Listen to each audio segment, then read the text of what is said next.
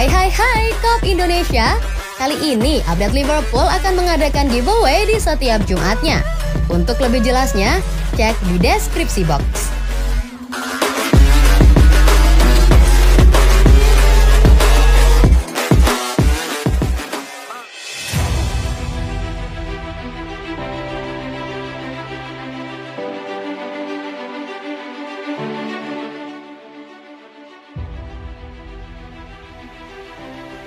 Bek kiri Liverpool Andy Robertson berbicara tentang Trent Alexander-Arnold.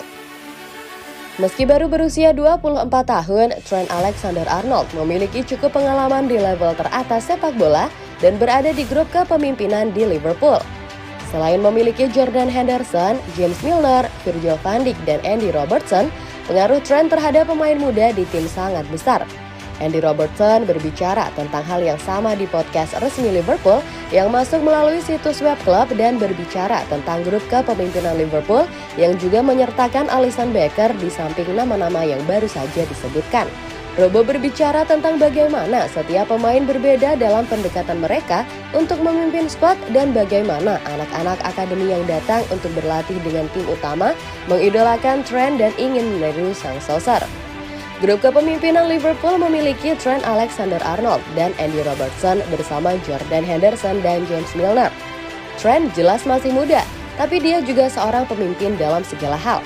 Setiap anak muda yang datang untuk berlatih bersama kami memandang Trent dan berpikir, saya ingin mengikuti jalur karirnya. Sebagai bek kanan, Alexander Arnold memiliki banyak pengalaman bermain di Premier League, Liga Champions, dan kompetisi papan atas lainnya. Dia juga menjadi pemain reguler tim nasional Inggris sejak 2018. Dia bisa menggunakan pengalamannya untuk membantu membimbing dan mendukung pemain muda di tim, baik di dalam maupun di luar lapangan.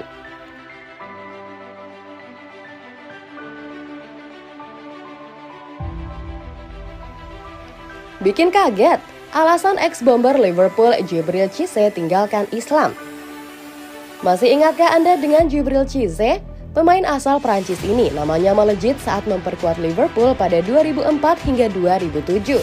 Dia membawa The Reds menjuarai Liga Champions 2004-2005 dan Piala FA 2005-2006 dengan catatan 24 gol dari 82 pertandingan. Selain Liverpool, sejumlah klub pernah diperkuatnya, dari mulai Marseille, Sunderland, Panathinaikos, Lazio Queens Park Rangers, dan Bastia.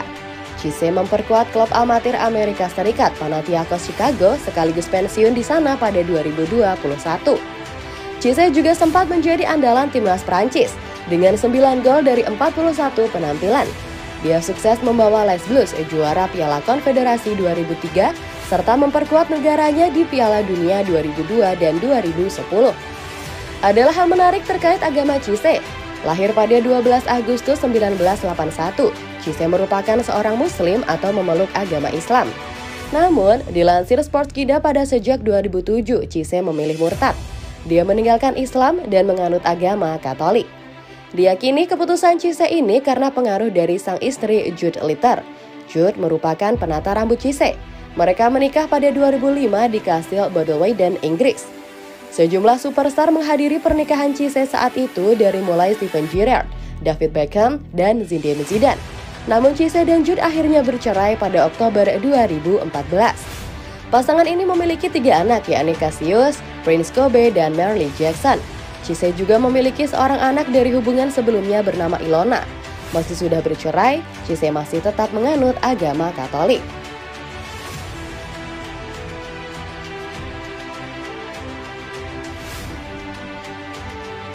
Rencana transfer Januari Liverpool terbaru karena FSG. Liverpool dilaporkan sedang dalam negosiasi untuk menjual salah satu pemain tim utama Jurgen Klopp. Sementara sebagian besar berharap Liverpool tidak melakukan bisnis transfer apa pun di hari-hari tersisa jendela Januari dalam hal mendatangkan pemain, selalu ada kemungkinan bagi FSG untuk memindahkan pemain. Dan menurut The Mail, Liverpool sedang dalam diskusi atas kepergian back Phillips. Surat kabar itu tidak menyebutkan nama klub yang tertarik, tetapi tidak mengherankan membaca bahwa bek tengah itu mungkin hampir meninggalkan klub. Dia berada di pasar di masa lalu dengan penduduk asli Bolton saat ini menjadi bek tengah pilihan kelima untuk klub. Dan penarikan kembali Rhys Williams telah membuka jalan bagi Liverpool untuk mencari penjualan sekali lagi. Phillips hanya memainkan 65 menit sepak bola kompetitif untuk Liverpool musim ini, sehingga pemain tersebut pasti ingin meninggalkan klub untuk mencari sepak bola tim utama pada usia 25 tahun. Selain itu, Liverpool dan FSG mungkin dapat mengarahkan biaya transfer apa pun yang diterima untuk Phillips ke dana Jude Bellingham dengan tawaran besar yang mungkin diperlukan untuk mendaratkannya di musim panas. Mungkin yang lebih baik, laporan Daily Mail juga menunjukkan bahwa Liverpool dapat mencari pemain pinjaman di sisa jendela transfer Januari. Sejauh ini tidak beruntung sama sekali dengan kesepakatan darurat serupa untuk Arthur Melo, tetapi kebutuhan mencolok untuk memperkuat inti tim klub untuk sisa musim masih bisa mendorong FSG ke pasar.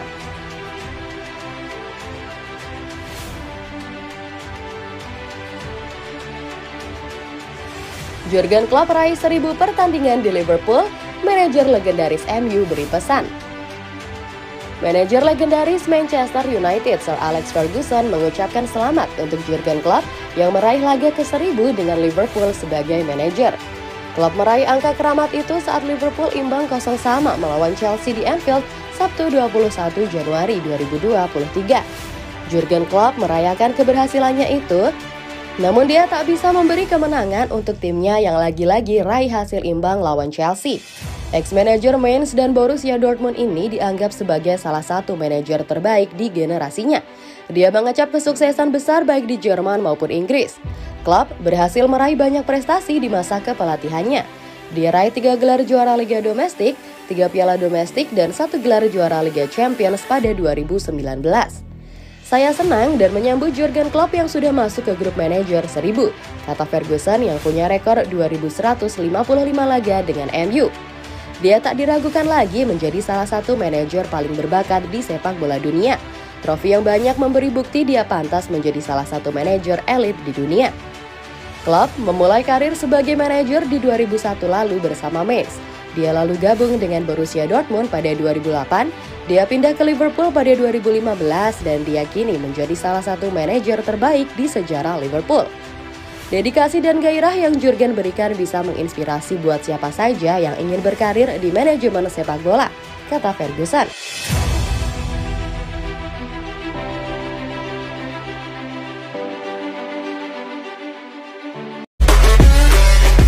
Hai hai hai Kop Indonesia Kali ini update Liverpool akan mengadakan giveaway di setiap Jumatnya.